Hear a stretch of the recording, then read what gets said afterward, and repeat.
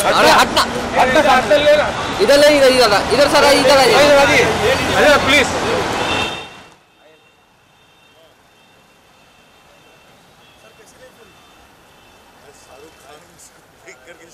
हाँ, हम लोग को हम लोग अपनी हालत देखते हैं मतलब इस आई डोंट थिंक ये look is better ever before I think इतना ये इतना वो आदमी वो वाइन की तरह ना और sir sir please can you अरे यार आपने हम लोग को हम लोग इधर सुबह सुबह का शो देखना है कि प्रमोशन के लिए पे लोग आ रहे हैं सबको पकड़ो हाँ। अरे बहुत सारे लोग आ रहे हैं सबको उनको पकड़ो हाँ बोलो। सर पहले तो मूवी के बारे में पठान यार देखो मतलब शाहरुख खान इतना इतना हसीन इतना सुंदर कभी पहले लगा नहीं। तो हम तो उसको देखने आए तो दिल खुश हो गया।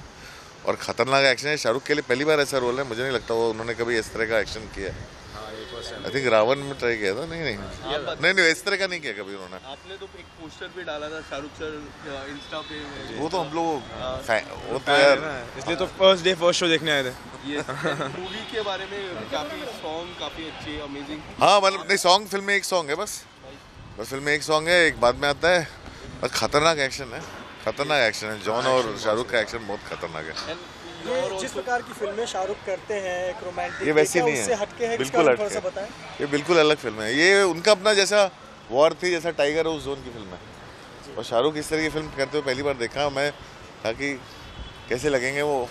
बट क्या बॉडी बनाई भाई उन्होंने? अभी सर मुझसे पूछ रहे थे बॉडी कैसे बनाते हैं भाई असली है खतरनाक बनाई है। कुछ फैंस बोल रहे थे कि सेकंड हाफ़ तो ऐसा है कि आप कुर्सी से उठ नहीं सकते का इतना नॉन स्टॉप एक्शन है।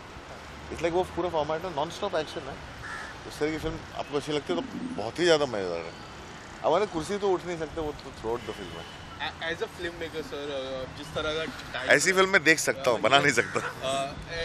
जिस तरह का टाइम रहा है बॉलीवुड का और शाहरुख खान का यार ये सब मुझसे मत पूछो अभी। देखो क्या है? पठान हम सबके लिए बहुत इंपॉर्टेंट फ़िल्म है। शाहरुख खान स्क्रीन पे वापस आ रहे हैं।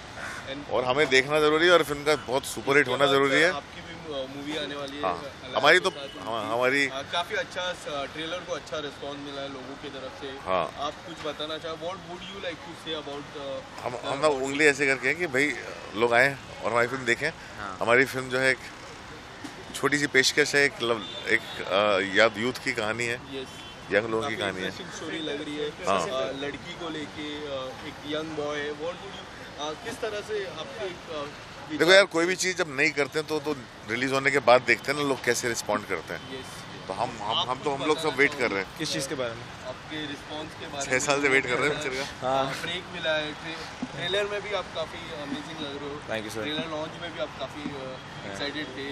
जी। कुछ अगर रिस्पॉन्स के बारे में आप बताना जी हम खुश हैं हमने एक्सपेक्ट नहीं किया कुछ। और हमने छः साल सात साल मेहनत किए वेट किया है। तो बस वही की ऊपर और बहुत प्यार से बनाई है और बहुत दिल से निकली हुई फ़िल्म है। सर एक, एक आखिरी सवाल अगर आप इस पर रिस्पॉन्स दोगे तो ठीक है। हाल ही में अभय देओल ने आपको टॉक्सिक एंड लायर पर्सन बोला। यार अभय देओल को जो लगता है वो कहेगा। तो देखो मतलब पंद्रह साल पुरानी बात है। पंद्रह साल पुरानी बात है किसी ने पूछा अभय देओल जैसा अच्छा एक्टर इंडस्ट्री में क्यों नहीं काम कर रहा?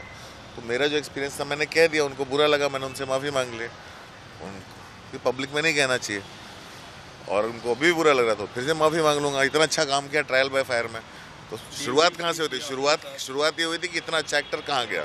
अब वो उतना अच्छा एक्टर वापस आ गया। करेक्ट तो बात खत्म हो गई ना? सेलिब्रेट करो वापस आ गया वो। करेक्ट हाँ। All the thank you thank you